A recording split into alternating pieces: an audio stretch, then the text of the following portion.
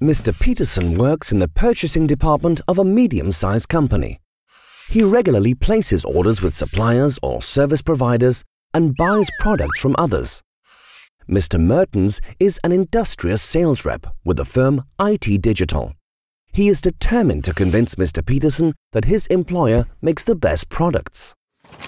Mr. Peterson is a big fan of football. Mr. Mertens is aware of this, so he invites him to attend a match. Expensive VIP tickets, all paid for by IT Digital. That sounds good. A bit too good, especially since Mr. Peterson is about to award a major contract that IT Digital is itching to get. Mr. Peterson puts his thinking cap on. Hmm. Is this just a thoughtful gift or perhaps even an attempt at bribery? He can't make his mind up alone, so he consults his line manager. She explains to him that the boundary between pleasantries and attempted bribery is sometimes opaque. A little gift between business associates, for instance a diary or a pen, would be fine. But it becomes a problem if gifts influence Mr. Peterson in his decision. The line manager asks Mr. Peterson to refer to the company's compliance policy.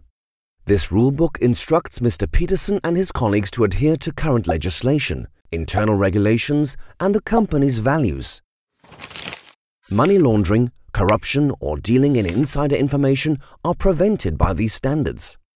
First, this will keep the company protected, and second, they will stop any damage to the organization's reputation.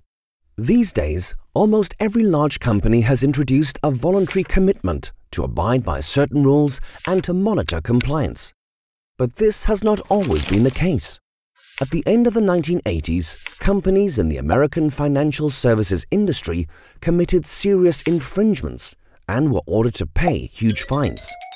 What's more, the reputational damage in the eyes of the general public was immense. Companies were asked to prove that they had provided their employees with regular instruction on legal and internal requirements if they wanted to escape with a less severe punishment.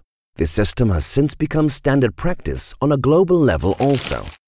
Mr. Peterson is glad that he asked for advice.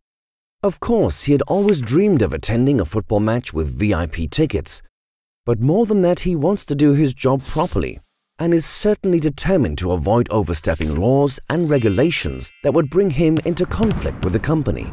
So he cordially declines the invitation and treats himself instead to tickets for the next match. They might not be VIP tickets, but they are in among the fans and bought with his own money.